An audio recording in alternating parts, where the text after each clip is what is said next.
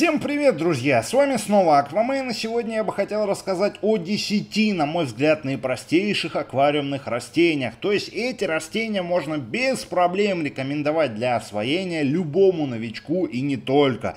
Первое растение из нашего списка это, конечно же, Анубиас. Анубиас, Анубиас, Анубиас, просто потому что это дубовое, неприхотливейшее растение, способное расти не только в широком диапазоне допустимых параметров, но и способное выдерживать сдерживать химические воздействия. Как правило, когда говорят анубиас и неприхотливый, имеют в виду анубиасы бартери и их разновидности. Анубиас нано, нано голд, петит, широколистный, узколистный, морщинистолистный, полосатый. Но среди всего этого анубиасного разнообразия есть и темные лошадки. Но они называются темными лошадками, но по факту они светлые. Это анубиасы варигатные. То есть анубиасы, у которых есть белые фрагменты листьев, белые точки, прожилки, пятна. На мой взгляд, такие анубиасы очень сложно адаптируются в новых условиях и рекомендовать их в качестве простейших аквариумных растений я не могу.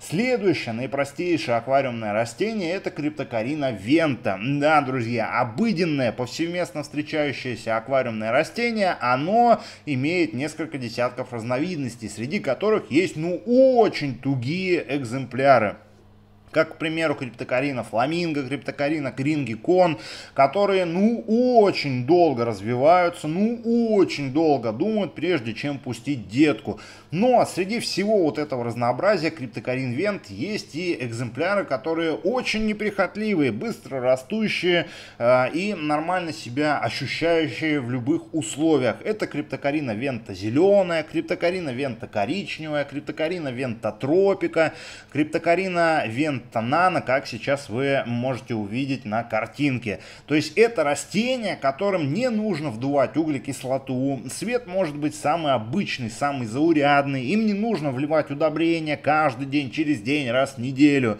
И они даже в таких минимальных условиях будут себя прекрасно чувствовать. Следующее неприхотливейшее растение, простейшее растение для содержания, это, конечно же, валиснери.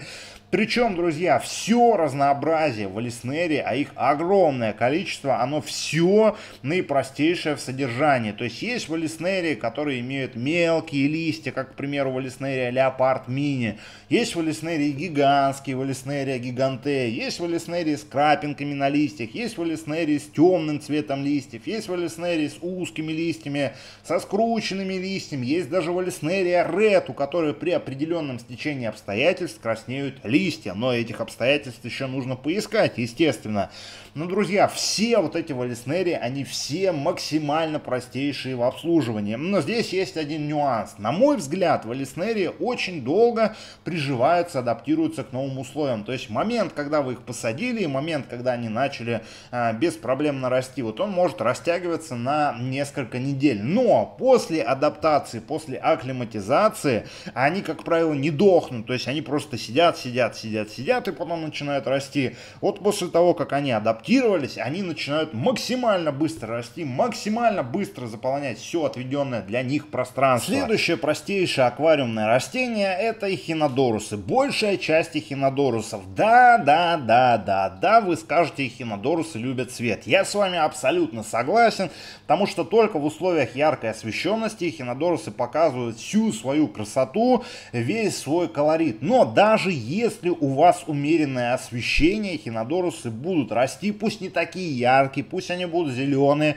но они будут развиваться, они будут э, радовать глаз своей зеленой массой. Плюсом ко всему, эхинодорусы прекрасно себя чувствуют в жесткой воде. Эхинодорусам можно не подавать углекислоту. Более того, друзья, эхинодорусы э, хорошо себя чувствуют в незаиленном, в каком-то нежирном грунте.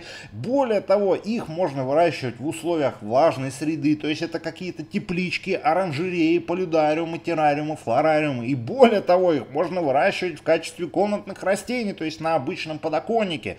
И они все равно будут пускать стрелки, они все равно будут размножаться и развиваться. Следующее аквариумное растение, оно из моих любимых. Почему? Потому что оставило надежный, стойкий, ароматический шлейф в моих воспоминаниях. Это гигрофила диморфная. Также у нее есть сестра гигрофила диморфная Вайсгрюн. Она Абсолютно такая же по условиям содержания, отличается внешне наличием белых прожилок на листьях. Это, как я уже сказал, абсолютно неприхотливейшие растения, которые максимально быстро растут, максимально быстро заполняют отведенное им пространство. Они пышные, они неприхотливые, они могут расти и над водой, и даже в сухом каком-то климате они могут беспроблемно расти. Но чем суше среда, тем более волосатистой становится гигрофила диморфная, тем более вонючей она становится. Абсолютно сухие экземпляры, они настолько вонючие, что близко к ним лучше рядом не подходить, потому что, ну, это очень стойкий, это какой-то липкий запашок, аромат, который надолго останется в ваших воспоминаниях. Следующее простое аквариумное растение – это гигрофила многосеменная и все ее клоны, собратья-сестры, сестры, все ее разновидности. То есть это гигрофила тигр, это гигрофила змея, гигрофила цейлон, гигрофила розонервис, а также разноконфигурированные гигрофилы, гигрофилы многосеменные, типа гигрофила многосеменной широколистный, круглолистный, узколистный и так далее и тому подобное. То есть эти гигрофилы, они опять-таки быстро растут, им можно не подавать углекислоту, свет может быть умеренным, но есть минус, друзья, этих гигрофил в том, что они одни из первых реагируют на недостаток питательных веществ. То есть, если у вас в аквариуме недостаток калия, на листьях гигрофила многосеменной и всего вот этого вот гигрофильно-многосеменного разнообразия появляются дырочки, ровненькие такие россыпь мелких отверстий на нижних листьях. В таком случае я рекомендую подумать, а как же можно внести калий в аквариум, потому что если этого не делать, растения будут деградировать и в конечном счете у вас останутся какие-то полуогрызки, полупалки, которые потом растворятся. Следующее простейшее аквариумное растение это Бакопа манье. Конечно, конечно, конечно, одна из первых Бакоп, с которыми я познакомился. Причем у этой Бакопы абсолютно относительно недавно появился еще варитет, то есть варигатная Бакопа манье с белыми прожилками какими-то. И она тоже такая же неприхотливая по содержанию. Конечно, это не какая-то пышнятина типа амбулии королевской, которая э, широко растет, которая растет очень пышно, но, друзья, эта бакопа, она максимально быстро, максимально четко устремляется в космос. И она может даже без проблем вылезти над водой, она может расти в надводных условиях, но, опять-таки, высаживать ее лучше всего на задний план, потому что это палкообразное растение. Следующее простейшее аквариумное растение, с ним, я думаю, знаком каждый, это роголистник. Роголистник это не просто аквариумное растение, это еще пристанище для мальков, это еще и в сухом виде, и не только в сухом виде, корм для разных рыб, и не только для рыб. То есть это универсальное аквариумное растение. Минусом этого растения можно назвать его неспособность укореняться, то есть его нужно постоянно как-то в пучках фиксировать, иначе оно просто-напросто плавает.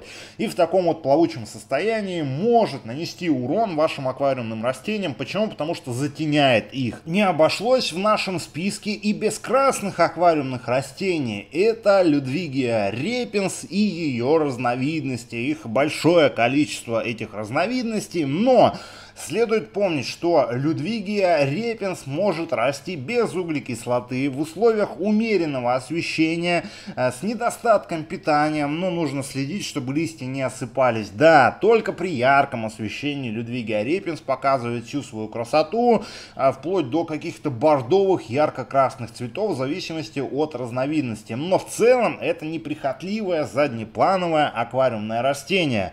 Следующее простейшее аквариумное растение, на мой взгляд, это нимфея. Причем все практически нимфеи, они беспроблемны в условиях содержания.